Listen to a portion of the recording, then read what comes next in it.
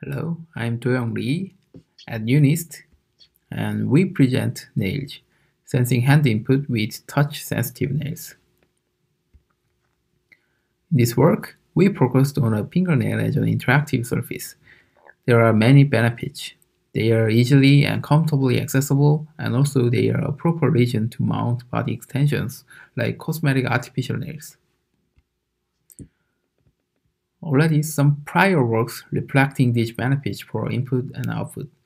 Firstly, AlterNail showed how the fingernail can interact with surrounding objects through the ambient display, and they used it for notification or activity counter. Similarly, fingernail display mounted tiny display and an optical sensor on the nail, and they could recognize pressure input from the thumb pad. Through this configuration, they presented some applications like transferring a file through the fingernail. And the last one is highly related to our work. In the NailO, they attached the capacitive touchpad on the nail and explored the input on the single finger. The input consisted with five actions, which are four directional swipes and one tap. In our work, we extend this work to the full set of five fingernails. To understand design space enabled by a full set of nails, we follow the traditional HCI research method from design to development and evaluation. The start was an ideation workshop. Five graduate students participated, and the goal was to generate diverse interaction ideas using a full set of five fingernails. The process was simple. Firstly, they defined tasks and actions that could be useful in the wearable situation. For example, they set a music player and its sub-actions, like next previous song or changing the volume. Then they devised nail input ideas, like clicking index nail for the previous song or the clicking thumbnail for the next song. This process generated 80 gestures and we categorized them into five themes. These five themes show how five nails could be utilized in wearable scenarios.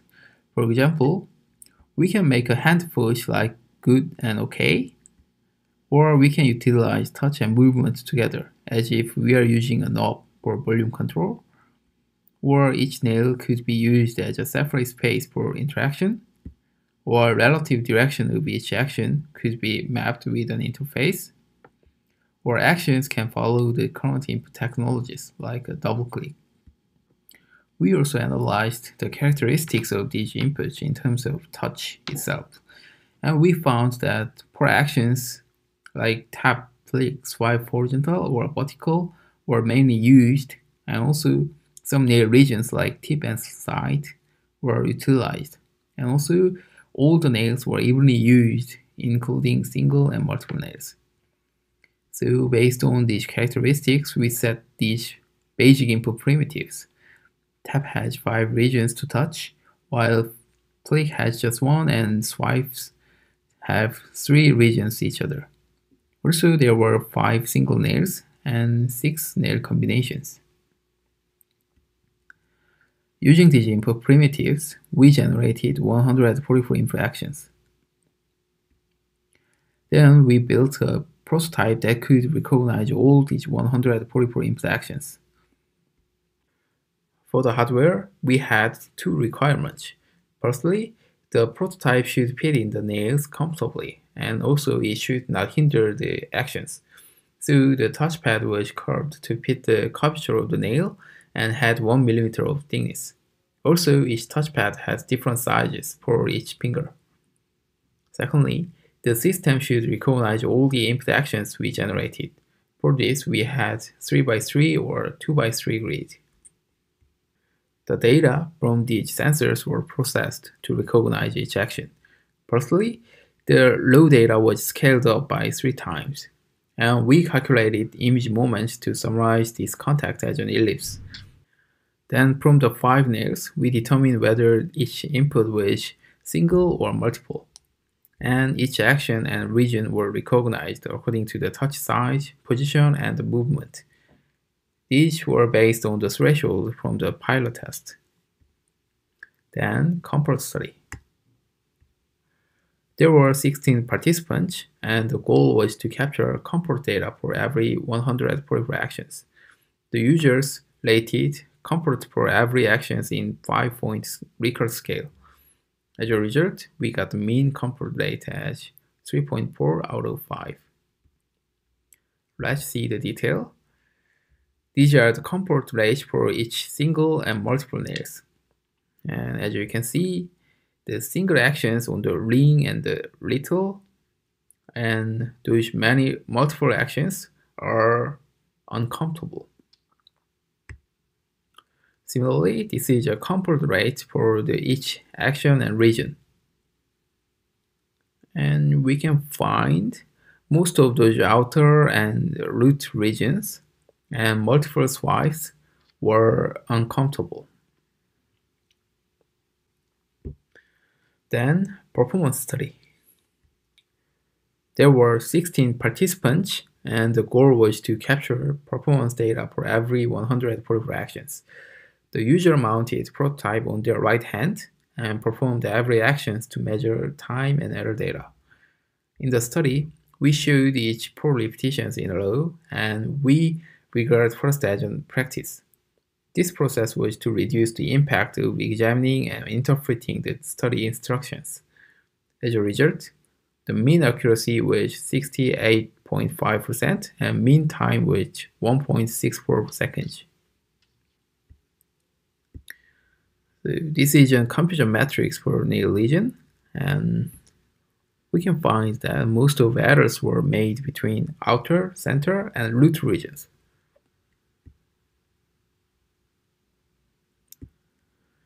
So as a conclusion, we found that mean time was relatively okay, but the mean accuracy needs to be improved for the readily distinguishable system. For this, there are two strategies.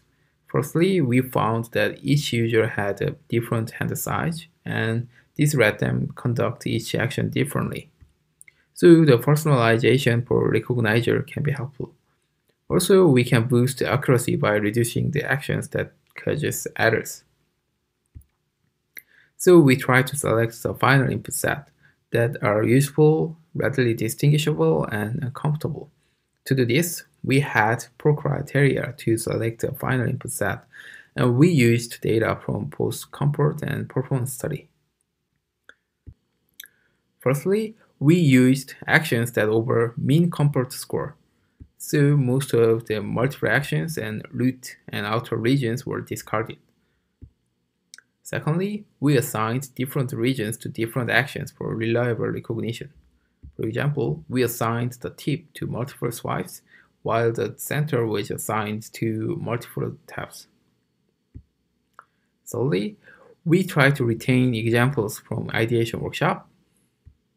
And lastly, we make some exceptions for create a coherent set. For example, Although the reader has a reduced comfort and accuracy, we included it for the consistency. As a result, we set these 29 final input set, which contains 25 single actions and 4 multiple actions. Using these action set, we try to verify this final set. There were 10 participants, and the goal was to verify the performance and experience of every final 29 actions. There were three steps in the verification study. The goal of the first study was to generate the data for personalization. In the first study, we showed each four repetitions in a row as we did in the performance study. So the users could know what actions they need to make in advance. But in the second study, we showed all the actions in a random order. By doing so, we tried to measure the data when users were not aware of input actions they would need to make. So we can say that the second study was harder than the first study. Although the second study has a harder condition, it shows 94.3% of accuracy and 1.61 seconds of mean time when we applied the personalized algorithm.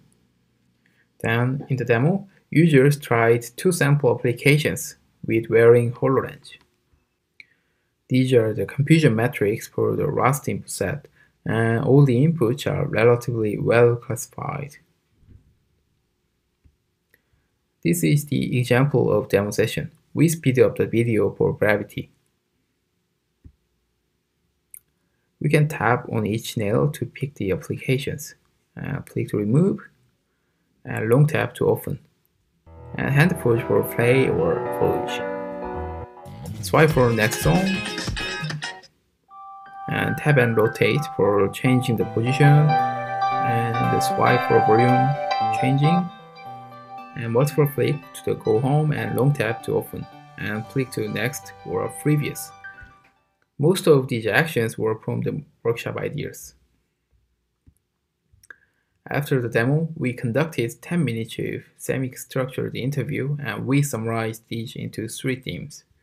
Firstly, they highlighted a viable aspect of Nailz as the Nailz was convenient, easily done, and easy to access, or no other equipment is needed, and less tiring and simpler and socially acceptable. Also, the Nailz was readily learnable by some users.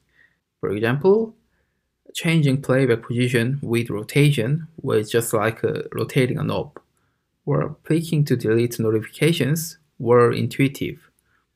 Directional control for next previous were well matched together. There were also some worries on the nails, like input on the rear nail is frustrating my rear finger makes unintentional touches a lot, and real-world use will involve more long touches. Okay, then conclusion. Through the process, we showed that nails are expressive, comparable, rapid, and readily distinguishable. And as a future work, we need to improve sensor hardware in terms of fidelity and aesthetics and exploring nail touch input in the field, considering Midas touch will be interesting. Okay, thank you for listening.